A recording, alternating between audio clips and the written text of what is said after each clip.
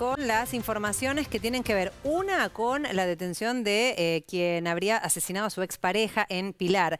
Este es el rostro del joven eh, expareja, recordemos, de eh, la mujer asesinada frente a sus hijos. Él es Brian Montenegro, tiene 32 años y esta madrugada fue detenido cuando volvía a su casa en la localidad bonaerense de Villa Astolfi.